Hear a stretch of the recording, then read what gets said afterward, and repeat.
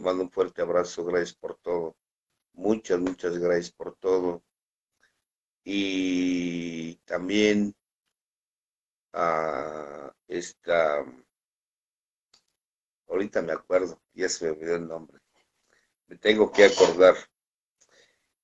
Mando un saludo, te mando un fuerte abrazo a todos, a todos los que estuvieron ahí eh, compartiendo con nosotros. Y bueno, gracias, gracias también al grupo, al grupo eh, donde estuvimos este viernes pasado. Eh, no recuerdo ahorita el nombre, la verdad es que luego se me van los nombres. La verdad es un placer para mí haber compartido el tema del ego. Déjenme acuerdo y ahorita les digo. Y, nos estuvimos ahí en Atizapal de Zaragoza, ahí con el amigo Polo. La verdad es que fue un placer para mí estar con ustedes compartiendo el tema del ego. Y bueno, y a todos los que se conectan el día de hoy, muchísimas, muchísimas gracias a todos y cada uno de ustedes. Para mí es un placer. La verdad es que para mí es un gusto y un placer estar con ustedes. Estamos aquí saludando a Tizapán de Zaragoza, Alejandra Vargas, de Tizapán de Zaragoza, precisamente donde estuvimos el viernes pasado. En el grupo de todos se llama, en el grupo de todos. Este, lo que nos conviene, Blanca, lo que nos conviene. Lo que nos conviene se nos olvida. Exactamente. De saludos hasta Indiana. Gusto en verlo y escucharlo. Gracias también a mí. Es un placer estar con ustedes. La verdad es un placer y un gusto. Rocío. Ah, sí, nos vimos ahí, Rocío. Ahí estuvimos en el grupo de todos, ahí con mi amigo Polo. Ahí estuvimos compartiendo el tema del Lego que parece ser que les agradó les gustó el tema, hablar desde las raíces de lo que es el ego, de la psicología analítica del doctor Carl Gustav Jung, estar hablando sobre el, ego, por qué es importante y por qué se toca ese tema y por qué a veces algunos colegas no lo pueden tocar, porque algunos pues están más enfocados en la psicología cognitivo-conductual. Pero bueno, fue un placer. Así, Alejandra Vargas, que también se tomó una foto ahí, nos, nos comenta. Y bueno, pues ahí, anda, ahí andamos, ahí andamos todos de una o de otra manera, eh, compartiendo un poco, compartiendo, porque como lo hemos platicado, nos beneficiamos todos, todos beneficiamos, yo me, me beneficio también. Josefina Reola, bueno, pues también pronto nos veremos. Pronto nos veremos, la verdad es que no te pierdes de mucho, simplemente para saludarnos, para darnos un abrazo, para, para agradecer que me permitan hablar, que me permitan compartir con ustedes, porque a veces nos olvida que, que el, bueno, a mí no se me olvide y ojalá nunca se me olvide que si yo estoy compartiendo con ustedes, yo soy el que me beneficia. Yo necesito compartir con ustedes, yo necesito hacer con ustedes, eh, hacer con ustedes esa unidad y compartir con ustedes esa necesidad. Duro y al punto. Esa necesidad de transmitir de servir, de convertirme en una persona útil más a aquellos que en algún momento de nuestra vida pensamos o no creíamos ser personas útiles a los demás, más aquellas personas que en algún momento creímos que no tenía sentido nuestra vida, más aquellos que llegamos a creer que era inútil nuestro caminar y a través del tiempo y a través de, ir reduciendo ese ego, de, a través de ir reduciendo ese ego, pues vamos comprendiendo que, que no, que tenemos mucho que compartir, principalmente las experiencias con las que hemos crecido, las experiencias que hemos trascendido, eh, el conocimiento y la sabiduría que hemos adquirido, tanto como profesionales como también como, como, como miembros de una agrupación o como seres humanos que en algún momento pensamos o creímos, pensamos o creímos que era inútil nuestro existir. Hoy sabemos que no es inútil, todos tenemos algo que compartir, hay quien comparte el tiempo, hay quien comparte su conocimiento, hay quien comparte su fortaleza, hay quien comparte su ese, ese profundo fondo de sufrimiento que nos lleva a una oscuridad brillante, voy a decirlo así. Una oscuridad brillante y digo oscuridad brillante porque aunque parece oscuro, eh, es brillante porque después con el tiempo agradeces ese momento de dolor, ese momento de sufrimiento, ese momento cuando sientes que se te junta el cielo y la tierra, donde piensas que todo está perdido, donde piensas que todo está acabado, donde piensas que que, todo ha terminado. Y sí, todavía todo había terminado, pero había terminado para ese ego que me impedía darme cuenta quién era yo y quién verdaderamente puedo, puedo ser. Y eso es pues, gracias a través de un camino que vamos recorriendo y que nunca se termina, porque a la fecha, a la fecha yo sigo descubriendo cosas de mí, a la fecha yo sigo encontrando cosas en mí, sigo viendo cualidades, sigo viendo defectos, sigo, sigo viendo pensamientos que si bien no los he llevado a cabo, pues es por, no por cualidad, sino porque hay por ahí ciertos temores, ciertos eh, fantasmas.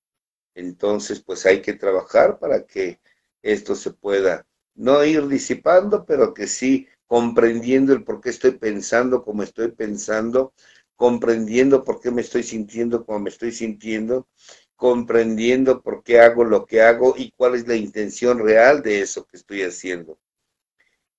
Y ese es el propósito de nosotros los seres humanos. Ese es el propósito y el objetivo de nosotros los seres humanos encontrar el por qué y el para qué estamos aquí. Y que espero que ustedes algún día también lo encuentren, como algunos yo sé que ya lo han encontrado, algunos están en el camino de encontrarlo, algunos lo han encontrado y están en eso, trabajando en ese camino que han encontrado. Y pues de eso se trata, que nunca nos detengamos, que nunca nos detengamos porque eso es parte de la vida y la verdad es que la vida es maravillosa.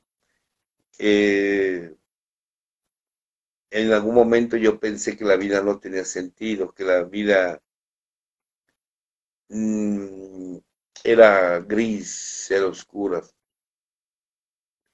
Y hoy me doy cuenta que no es así, no es así. Hoy, hoy me doy cuenta que la vida tiene un propósito, tiene un sentido y que el dolor no tenemos por qué estar huyendo del dolor. El dolor es parte de la vida, el dolor me da conciencia, el dolor me invita a crecer, el dolor me invita a transmitir, eh, a crecer y me invita a, transmitir, a transmitirlo para que la gente no huya del dolor, como en algún momento pues llegamos a oír a través de la de la llegamos a oír a través del, de dormir, del estudio obsesivo compulsivo, del quehacer, del alcohol, de las drogas, a través de relaciones tóxicas, a través de volverme adicto a un ser humano, que creo que yo, creo yo que es una de las peores adicciones cuando te vuelves adicto a un ser humano.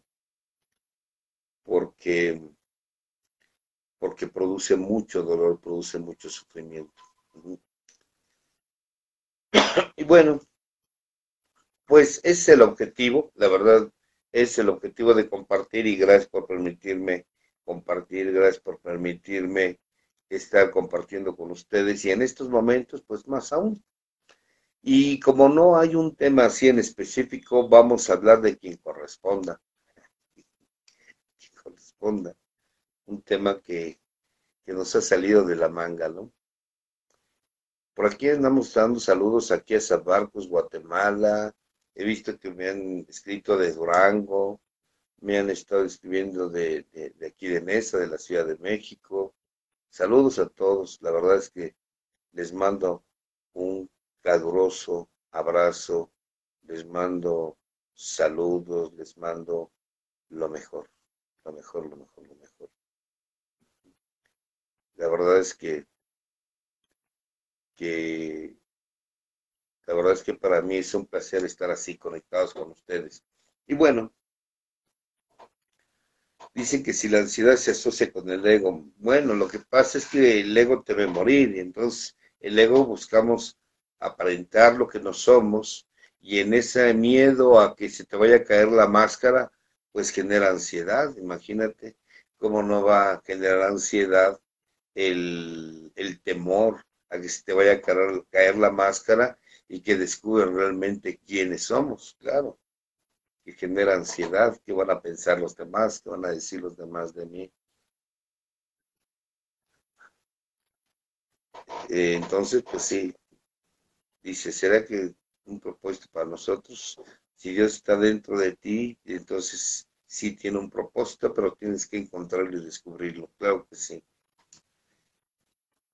Y de los cuatro acuerdos, Ángel Torres, no, pues es un tema que lo da Miguel Ruiz, mejor pide a Miguel Ruiz, léete el libro para que me hable de los cuatro acuerdos.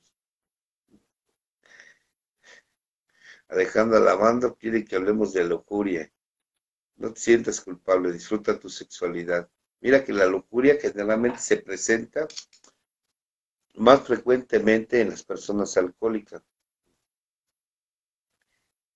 alcohólicas. Entonces, y el neurótico no, el neurótico apenas.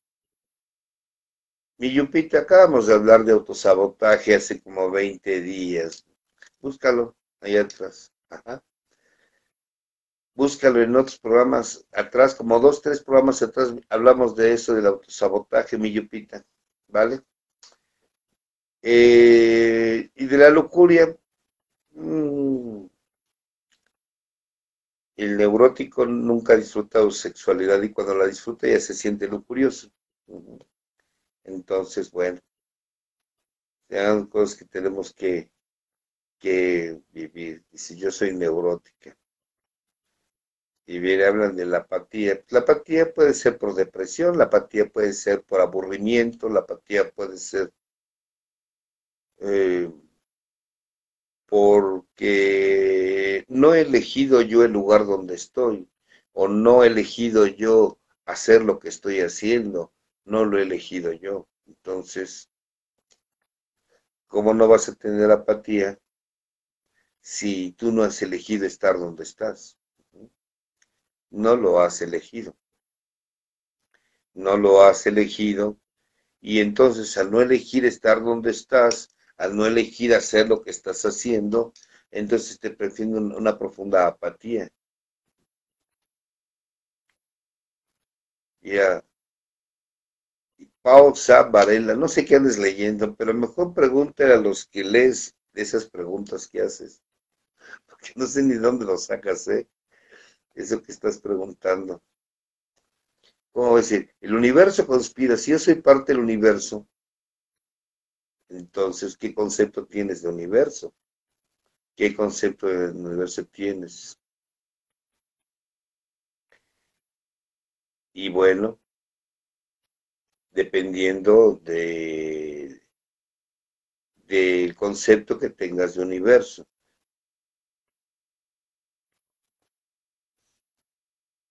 Este ya no sabe ni qué decir, dice, hable de quinto acuerdo, o puede hablar de la familia nuclear,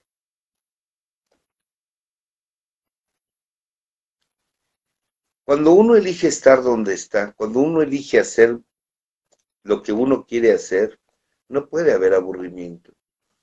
El aburrimiento o la apatía es una señal que me indica que lo que tenía que aprender de esa experiencia ya lo aprendí.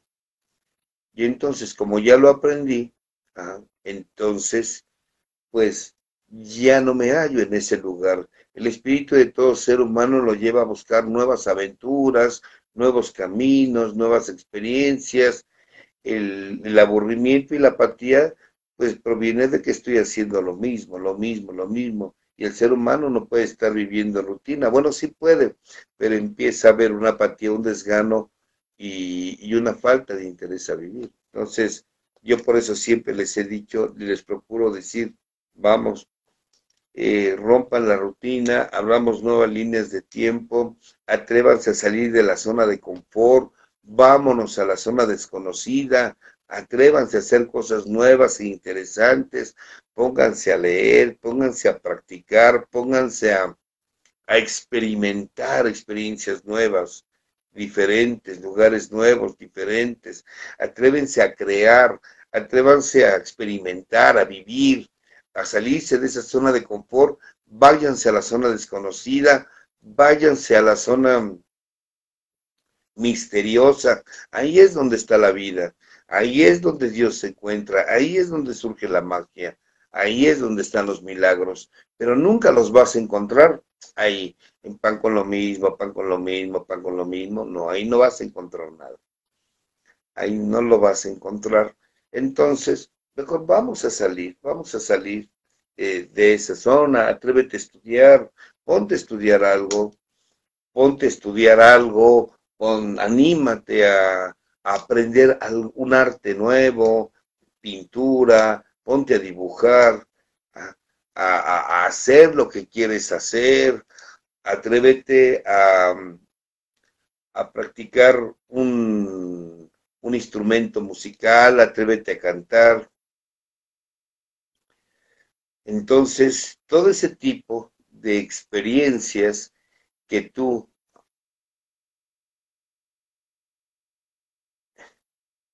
de ese tipo de experiencias que tú te atreves a vivir nuevas en ti, te conoces, porque conoces tus capacidades, te das cuenta de tus capacidades, te das cuenta de tus potencialidades, te das cuenta de lo que puedes ser capaz de ser y de hacer. Saludos, Anita. Pero necesitamos vivir algo nuevo, necesitamos atrevernos atreverse a, practicar los pasos, por ejemplo, atrévete a practicar los pasos, atrévete a ya no pedirle a Dios, ahora atrévete a decirle a Dios lo que genera tu mente enferma o tu alma que está saturada de emociones y de sentimientos que te estorban, o de una mente que no puedes controlar, atrévete a platicárselo a Dios. Atrévete a escribir sobre tu pasado para que puedas reconocer la sombra que hay dentro de ti. Atrévete a escuchar a Vivaldi, como ahorita dice Fernando Cruz, ya deja de estar escuchando reggaetón. Atrévete a escuchar música clásica, atrévete a escuchar una apertura, música de ópera, un concierto, a Franz Liszt, a Beethoven, a Mozart. Atrévete a escuchar música clásica, música instrumental, atrévete a escuchar, porque la música te lleva a una vibración diferente a la que estamos acostumbrados. Atrévete, por ejemplo, a, hacer una caminata sola o solo, atrévete a ir al cine solo, atrévete a llevar a cabo un proyecto, Atrévete, atrévete, atrévete. ¿Saben la gente por qué no se atreve? Por temor a equivocarse, por temor a fallar, por temor a, a cometer un error. Y entonces su ego le dice, no, no te atrevas, porque si te atreves, te vas a equivocar, va a haber un error y qué van a pensar de ti. Se pueden dar cuenta que has cometido eh, un error. Pero yo no les llamo errores y ya hemos platicado al respecto. Yo no les llamo errores. A lo que le llamamos errores, para mí, es una enseñanza, es un aprendizaje. Estás aprendiendo algo que no te habías dado cuenta que tenías. Estás aprendiendo, te estás atreviendo. estás eh, intentando descubrir algo dentro de ti y que no sabías. Dice, si se atreve y siempre se falla, se sigue intentando. Bueno, si siempre se falla, es porque lo que estoy intentando no funciona. Entonces lo voy a intentar de otra manera y lo voy a intentar de otra manera. Y voy a arrancar de una manera y si no arranco de otra manera y lo ahora lo hago con, de otra forma y de otro y de otro y de otro y de otra. Pero un guerrero nunca renuncia a lo que quiere.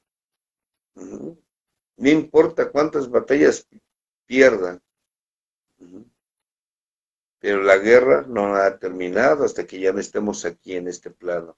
Entonces, yo lo que los invito es a que vivamos, a que vivamos una experiencia nueva y diferente. Atrévete a hacer algo que no has hecho. Atrévete, vívelo, experimentalo. Pero si no lo vives, si no te atreves a vivirlo, si no te atreves a crearlo, entonces, entonces, eh, ¿cómo vas a conocer las grandes capacidades que tienes? ¿Cómo vas a elevar tu valor si siempre has creído que no tienes los méritos suficientes? Atrévete a conseguir para que eleves tus méritos y esto eleva tu valía. Entonces, pues es lo que yo generalmente les, les sugiero que hagamos que les invito a que nos atrevamos a hacer.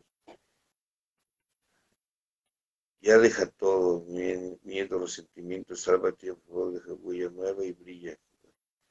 Pues sí, a lo mejor no tan fácilmente te va a causar un proceso, pero por eso les decíamos, atrévete a practicar los pasos. Atrévete a checar de dónde aprendiste la manera de pensar que aprendiste, de dónde viene, ¿De dónde vienen tus juicios? ¿De dónde vienen tus ideas? ¿De dónde viene tu sistema de creencias? ¿Quién te lo enseñó? ¿Realmente son tuyas? ¿Y de quién?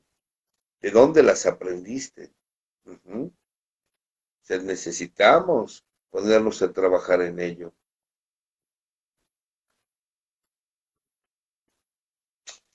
Eh, y ese es el problema, por ejemplo, ahorita que decía una persona, me, acordé de alguien que me decía de por qué no podemos romper relaciones destructivas. Y entonces yo le decía, bueno, es que tenemos miedo a salir de nuestra zona conocida y entonces prefiero estar con la persona con la que no soy feliz pero que conozco, que atreverme a conocer algo nuevo y diferente. Y no, perdón, no precisamente tiene que ser otra persona.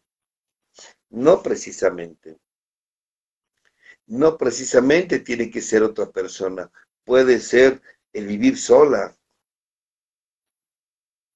Algo que yo he comentado. Si vives sola, aprende a ser feliz sola. Aprende a ser feliz solo.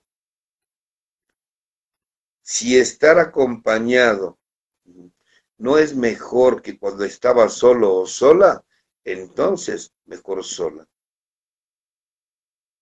Mejor solo. Atrévete.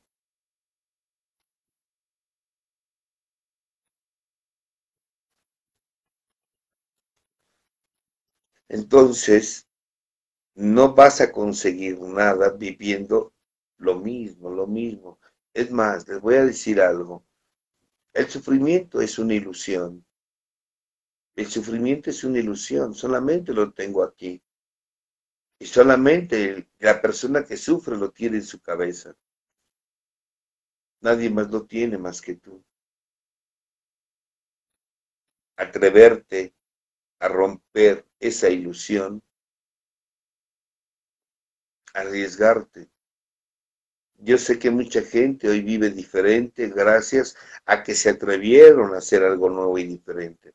Yo sé que mucha gente hoy eh, está disfrutando y saboreando las mieles de un negocio, de un nuevo trabajo, de una libertad, de una casa, de una carrera o profesión, eh, de un estilo de vida diferente o viviendo en un país diferente gracias a que se atrevió y que tuvo que enfrentar su miedo. Pero no esperes, no esperes a que llegue eso que tanto deseas, no esperes a que llegue eso que tanto buscas, solo porque te sientas y empiezas a orar o empezamos a cantar una alabanza. No. Ya decía Fernando Cruz, atrévete a comer algo diferente, perfecto. Pon a prueba tus programaciones, ponlas a prueba. Si no te han funcionado, porque sigues haciendo las mismas cosas. Mucha gente no está conforme en el grupo donde está, pero ahí sigue y en el fondo sabe que no va a conseguir más. Hay gente que sabe que si el grupo no le ha funcionado es porque él no está practicando nada. Y entonces ahí quédate y ahora atrévete a practicar tus pasos. Atrévete. Enfréntate a tus miedos, enfréntate a ti. Y si me equivoco, aprendes. No hay, no hay un juez que te esté juzgando. Y aquellos que te juzgan, recuerda que la gente juzga de acuerdo a cómo vive. Pero tú atrévete. Atrévete a dejar lo que ya desde cuándo quieres dejar.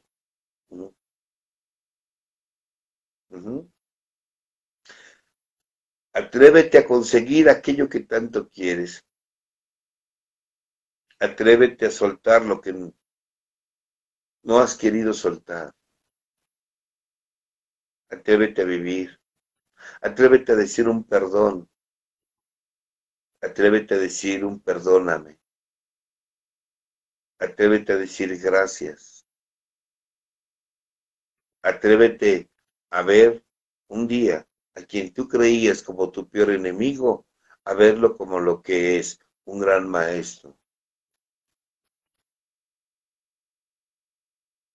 Un gran maestro que te está enseñando lo que tus mejores amigos no te han enseñado. Te está enseñando una parte vulnerable. Te está enseñando una parte que ni tus mejores amigos te pudieron haber dado. Por lo tanto, atrévete a ver a tu enemigo como un gran maestro. Atrévete a ver esa de las peores experiencias. Esas, las peores experiencias como la plataforma donde tú arrancaste y comenzaste ese camino de trascendencia. Nunca se comienza en el placer y en la comodidad, se comienza en el dolor, en el sufrimiento, en la carencia, cuando todo, todo lo tienes en contra. Ahí es donde se comienza. Todo ese aprendizaje. Nadie nació sabiendo, nadie.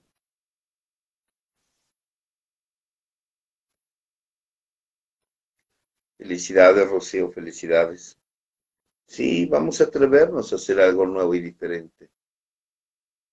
Vamos a atrevernos a experimentar cosas nuevas, experiencias nuevas, con personas nuevas, en lugares nuevos, comida, como dice mi tucayo, este, como dicen, comida nueva. Atrévete a vivirlo. Al final, ¿sabes qué te vas a llevar de todo esto? Lo que viviste, lo que experimentaste, lo que sentiste, eso es lo que te vas a llevar. Eso es lo que te vas a llevar. No te vas a llevar nada más más que la experiencia. Tu casa se va a quedar, tu auto se va a quedar, tu dinero que tienes en el banco se va a quedar. Tus joyas se van a quedar, tu ropa se va a quedar, tus zapatillas, tus relojes, tus bienes se van a quedar y tu cuerpo también se va a quedar. Nada te vas a llevar, pero la experiencia de haber experimentado, la experiencia de haber vivido, wow, eso sí te lo vas a llevar apenas hace poco en un compartimiento les decía, a veces tenemos miedo a morir, pero la verdad, si tienes miedo a morir es porque no has vivido lo suficiente porque no has vivido plenamente. Si tú vives, vives, experimentas, te atreves, vas, vienes, cuando una persona vive plenamente, claro, claro que no tiene miedo a morir. Hace poco mi compañera me ponía el ejemplo, bueno, hace poco, hace unos años. Imagínate, imagínense lo siguiente, ¿eh? piensa. Vamos a hacer esta analogía. Vamos a hacer la analogía de que estamos en un, en un, en un parque de diversiones. Llegamos temprano, nueve de la mañana, a esa hora, abren el parque de diversiones, donde están todos los juegos. Todos los juegos ahí están, todos, todos, todos los juegos. Están desde el más común, que es la rueda de la fortuna, hay montañas rusas, hay infinidad de juegos para que te diviertas. Hay simuladores, etcétera, etcétera. Y entonces tú por miedo no te subes. Y entonces tú por miedo postergas las cosas. Y entonces te justificas para atreverte a vivir eso nuevo. Te justificas y no te atreves. O buscas situaciones externas como pretexto para justificar el por qué tú no te diviertes en el parque de diversiones. ¿Sí me explico? Bueno, esto lo he platicado con algunos en, los, en los grupos de psicoterapia. Le llaman eh, que son las tres herramientas que el ego usa para que tú no crezcas, para que tú no avances. Porque el ego teme morir, el ego tiene miedo al cambio. El ego no quiere que tú cambies, el ego no quiere que tú avances, el ego no quiere que te atrevas a crecer porque teme morir. Entonces, por tal motivo, usa tres herramientas. ¿Cuáles son? La espera. Luego, después, mañana, eh, otro ratito. El lunes comienzo la dieta. Ah, ya el lunes comienzo, me voy al gimnasio. El lunes. Después, hora que acabe la pandemia. Hora que acabe el año. Hora que acabe el mes. Hora que comience el próximo año. Y entonces espera y esperamos, esperamos, esperamos y esperamos y no nos damos cuenta que estamos metidos en una trampa de nuestro ego. Estamos metidos en una trampa de nuestro ego que nos impide avanzar. La segunda son justificaciones. Es que no tengo dinero, es que no sé, es que no puedo, es que no tengo, es que no debo. Mira, si no es una ley que va en contra de la naturaleza, como el matar, como transgredir a otro ser humano, faltar respeto, atrévete a hacer lo que quieras hacer, atrévete. Pero buscamos pretextos para justificar nuestro no avance pretextos. Y pretextos vas a encontrar muchos. Yo recuerdo que en Alcohólicos Anónimos había un libro o un folleto que decía, ¿qué? El libro dorado de los pretextos, algo así. La verdad es que nunca lo leí. Dije, con los míos, ¿para qué quiero leer más? ¿Para qué? Eh, y después viene el tercero. Y el tercero es, combates afuera. O sea, siempre creer que el problema está afuera. Siempre creer que mis discusiones están afuera, es que si él cambiara, es que si aquella me atendiera, es que si aquel no dijera, es que si aquel me amara, es que si ella regresara, es que si aquella me aceptara, es que si ellos me reconocieran. ¿Me explico? Y entonces, ante la espera, ante la justificación y ante el combate hacia afuera, que son tres herramientas que usa el ego para yo autoengañarme y no avanzar, entonces pues no avanzo. No avanzo y ahí me voy a estar quedando siempre. Ahí me voy a estar quedando siempre, justificándome y no avance, y no avanzo, y no avanzo. Y entonces, tarde o temprano a veces la vida te empuja. Yo lo he comentado, tarde o temprano a lo que tanto le temes tendrás que enfrentarlo. Tarde o temprano. Ajá. Tarde o temprano. Y no necesariamente son los once pasos de la magia, no. Eso lo incluyeron en la magia. Pero esto ya desde antes. Desde antes se manejan estos, estos, estos puntos importantes. De hecho, em, de hecho, estos, eh, estos argumentos que usamos los seres humanos, siempre los hemos usado. Esos pretextos para justificarnos. Pero tarde o temprano tendremos que enfrentar esos temores.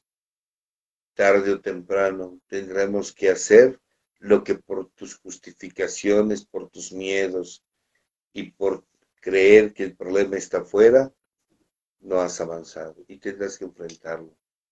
Y entonces es lo que nos pasa en el parque de diversiones.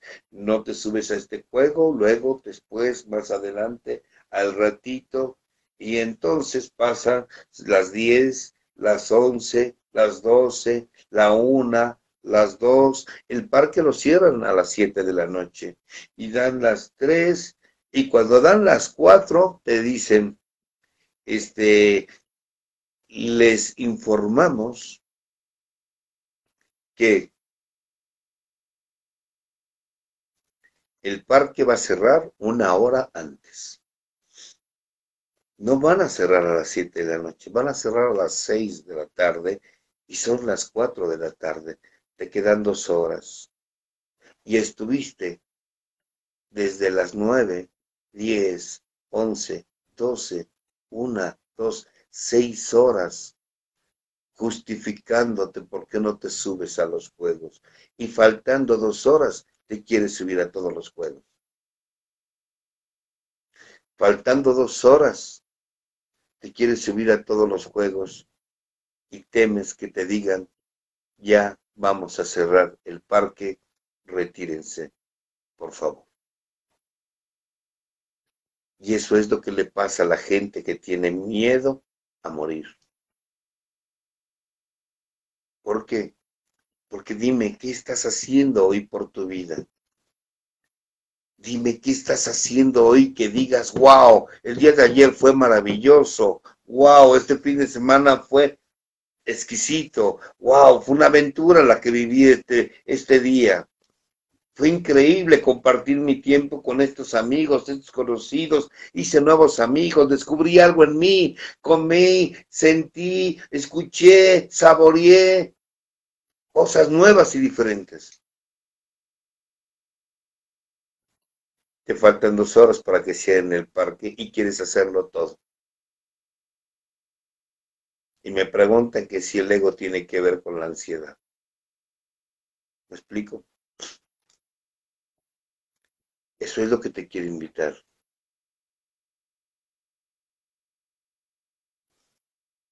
Está pasando. Es una ilusión. Vive, experimenta, para que podamos terminar diciendo, Señor, cuando gustes. Lo he vivido, lo he experimentado. Adelante. Adelante adelante, vámonos, porque sé que la muerte es parte de la vida. Y lo que tenía que aprender, experimentar, saborear, escuchar, ver, oler, sentir, ya lo conseguí.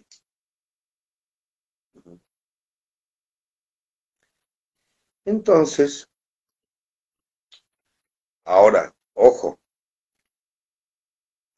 que se los diga la gente que hace lo que les digo. Porque también mucha gente te va a querer motivar, pero de su vida han hecho una mierda. Ajá. Ándale, échale ganas, sí, pero tú tampoco te mueves.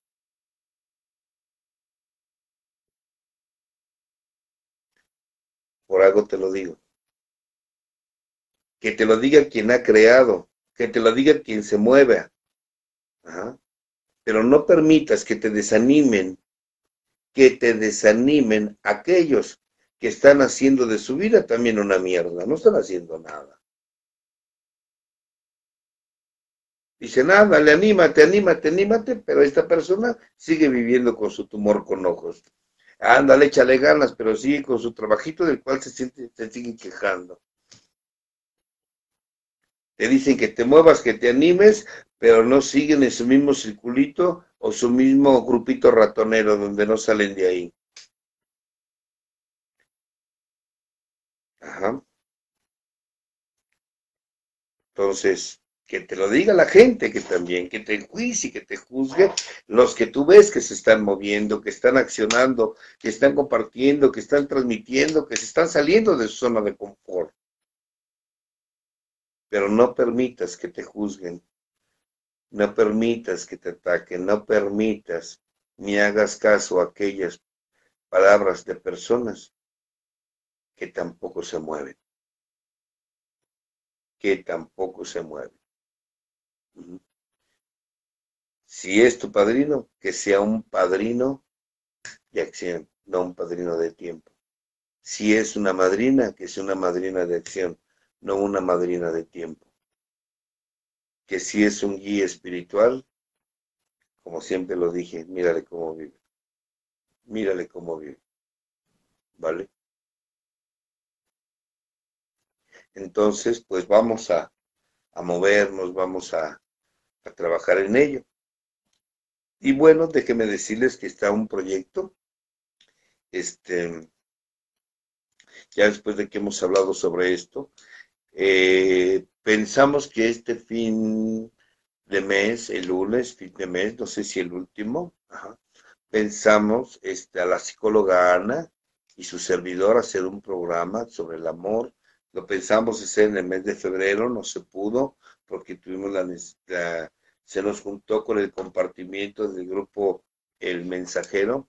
Entonces ella me invita para que compartamos un lunes eh, recuerden que el horario de ella era este lunes, entonces lo vamos a hacer este lunes que viene, bueno, eh, este último lunes de mes, el tema del amor, donde ella pues, nos hace el favor ya de cambiar de horario a día martes, su servidor va a estar el día lunes, la verdad es que eh, tuvimos la necesidad de cambiar, tuvimos la necesidad de, de de cambiar eh, estos últimos, estos, este semestre, del martes al lunes, pero bueno, ya los veremos después, ¿ok? Entonces, pues, ajá, entonces, pues bueno, vamos a hacer lo posible porque eh, se lleve a cabo esa junta entre la psicóloga Ana, que está con nosotros en Visión Colectiva Radio, y su servidor en ese programa donde pensamos hablar el concepto del amor desde todas las visiones que se pueda dar. Entonces, muchísimas gracias. Esperemos que nos acompañen en, ese, en esa reunión que vamos a tener próximamente. Y bueno, pues los invito para el día, déjenme ver cuando los invito. Déjenme decirles que vamos a estar en Luisiana en Luisiana. A ver, por aquí está la información. 8, 9 y 10 de abril vamos a estar. Antes recuerden que en marzo este, vamos a tener esa reunión allí en Visión Colectiva Radio con el tema de amor. Abril 8, 9 y 10 vamos a estar en Baton Rouge, Luisiana. Y ahí, eh, ahí pues en Baton Rouge, Luisiana, pues vamos a dar un taller donde en ese taller, que es el número 6, compartimos con otras personas. La verdad es que es un lugar maravilloso, es increíble ese lugar. La verdad es que es algo que se transmite y que se ha hecho un hábito compartir con estas amigas de ya de Luciana, de, de un grupo Alanón, compartir con ellas ese taller donde hablamos de psicología, de espiritualidad, de iniciación, es algo increíble y maravilloso. Uh, eh, Esteban, toda la información la encuentras en mi página, ahí lo encuentras toda la información, ¿vale? Y déjenme decirles, porque luego también sí, bueno, les voy a comentar, déjenme aquí, abro aquí, ahí está ya, miren, ¿cómo te voy a poner lugares, Jurch Esteban, si ni los que me invitaron a compartir, muchos ni siquiera tienen el lugar donde va a ser el evento? Nada más apartaron fecha, nada más apartaron y, el lugar de donde voy a ir y apartaron fecha, pero ni ellos tienen ni siquiera si hay el salón, el grupo, no tienen el tema, o sea, cómo les vamos a informar. Eso se informa, y lo repito porque me lo preguntan, ay, estoy viendo que va a venir aquí a Durango, ay, estoy viendo que va a venir a tal. Y yo les digo, ¿cómo? ¿Cómo quieres que te informe si los del grupo saben? O sea, los del grupo saben que voy a ir, ya apartaron la fecha, pero ni siquiera tienen lugar, no han contratado ni el lugar, o a lo mejor va a ser en su grupo, no sabemos el tema, no sé el horario. Entonces sé que va a ir, va a ser ahí, se está informando el lugar específico, el horario y el tema específico, eso se va a dar una o dos semanas antes, ¿ok? Digo para las personas que me andan preguntando y preguntando qué entiendo. Angélica Jiménez dice que quiere verme allá en Luisiana. Pues sí, ahí está la información, la acabo de dar. Puedes verme allá en Luisiana, ahí está la información. Es en Boston Rouge, vamos a estar ahí para que quien quiera, pues con gusto, ahí podemos estar. Este, si gustas, pues ahí, ahí podemos estar todos, ¿ok? Dice, ¿seré yo rebelde sin causa? Pues ojalá sea rebelde con una causa, porque eso de ser rebelde y sin causa, pues es lo que ha llevado a muchos a tener pérdida de tiempo y estar revelándonos ante todo, pero ni siquiera lo hicimos con nosotros. Entonces, vamos a ser rebeldes, pero por una causa. Vamos a ponerle un propósito y que esa rebelión sea contra mí mismo. Acuérdense que mi guerra no está afuera, mi guerra está dentro de mí. ¿Vale? Entonces, pues, eh, sé que este fin de semana voy a estar en Linda Vista, no sé muy bien de que me checo por ahí por, el Deportivo 18 de marzo. Entonces, ya les informaré en su momento. ¿Les parece? Bueno, pues me dio gusto volver a estar aquí con ustedes. Saludos a Santiago Costa desde Iztapas y Guatanejo, grandes amigos ahí de que los quiero muchísimo. A mis amigos de allá de Iztapa, de Durango, de Dallas, Texas, del Perú, ni se diga, amigos de Guatemala que se conectan, de Baton Rouge, Dallas, Texas, que se conectan de Utah, Ciudad de México, Nezahualcóyotl, de Catepec. Les mando un fuerte abrazo a mi querida amiga Blanca Salazar, una amiga de la, pues no de la infancia, pero éramos adolescentes cuando nos conocimos, mi querida Blanca, ¿te acuerdas? Este, saludos, querida amiga. Eric Medina Moreno, saludos también a todos los que se conectaron. Les mando un fuerte abrazo, bendiciones. Maybe, saludos desde Ecuador. Maybe, saludos Ecuador. Gracias, Rocío Naza. Saludos, Alejandro Alabando Cáceres, Cristina Sánchez, Eric Medina Moreno. Sí, en Villa Victoria está avanzando el, el proyecto, ahí vamos. Ayer estuve en Villa Victoria y en en ese lugar. Este, ya estamos avanzando un 75% el lugar donde me voy a ir a vivir, vamos a estar por ahí, ahí vamos, ahí vamos. A ver cuando hago una estrella azteca, a ver si se alcanza el lugar. Yeselín Cañas Murillo, te mando un fuerte abrazo. Claudia Reyes, parece que tenemos sesión a ratón. Maribela Barajas, mi querida Estela Castellanos, te mando un fuerte abrazo. El viernes voy a estar por ahí, Estela Castellanos, Viridiana Reyes, un fuerte abrazo, Viri, te mando un fuerte abrazo. Elsa González, gusto en verlos a todos. Los quiero mucho, les mando un fuerte abrazo. Bendiciones. Hasta pronto. Y, ya saben, ya saben, eh, atrévanse a vivirlo hoy, hoy. Hasta pronto. Bye.